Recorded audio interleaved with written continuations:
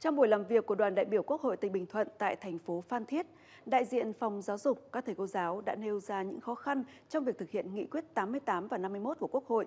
Cụ thể, nguồn lực kinh phí về trang thiết bị dạy và học, nguồn lực về con người chưa đáp ứng việc thực hiện nghị quyết.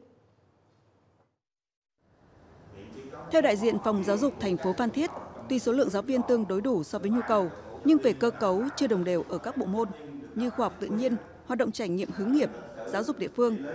Dự báo nhu cầu sẽ thiếu giáo viên nếu không có kế hoạch đào tạo tuyển dụng bổ sung. Còn đối với các trung học cơ sở thì thiếu giáo viên dạy môn khoa học tự nhiên. Thì tôi nghĩ cái này thì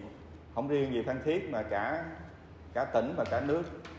đều thiếu cái giáo viên khoa học tự nhiên. Bởi lẽ là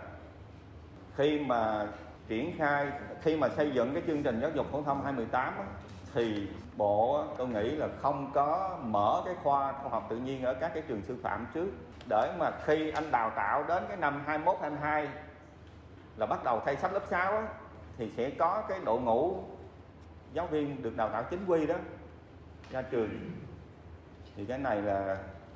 cái chuyện đó là cái chuyện ở tầm vĩ mô. À, như thế thì cái giáo viên mà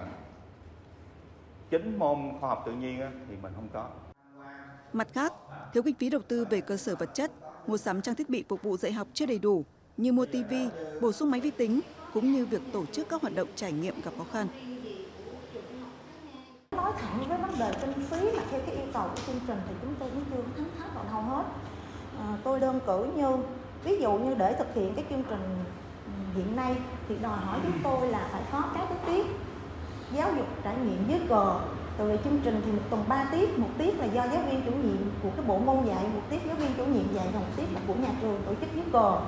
Thì để mà tổ chức dưới cờ cho học sinh ví dụ như toàn trường, thì ít ra nó cũng phải có một cái gì đó gọi là cái tầm nhìn một xíu. Thì đòi hỏi là phải có kinh phí. Chẳng hạn như một tháng như vậy chúng tôi tổ chức một lần. Dưới cái dạng là sân khấu hóa ờ, văn nghệ, thì mỗi lần làm như vậy chúng tôi cũng cần phải có một cái nguồn kinh phí để phụ hỗ trợ cho các lớp về cái là trang phục hoặc là đạo diễn vân vân. Tại buổi làm việc, ngành giáo dục thành phố Phan Thiết đề xuất kiến nghị Quốc hội giám sát chặt chẽ việc biên soạn sách giáo khoa, thẩm định sách, thẩm định giá sách đúng theo quy định của pháp luật và thường xuyên kiểm tra việc tổ chức thực hiện. Bên cạnh đó, cần đầu tư nguồn lực cho công tác bảo đảm chất lượng giáo dục phổ thông về con người, tài chính, cơ sở vật chất, ban hành các chính sách đặc thù cho vùng khó khăn, trong đó ưu tiên về đầu tư kinh phí để thực hiện đổi mới chương trình sách giáo khoa mới.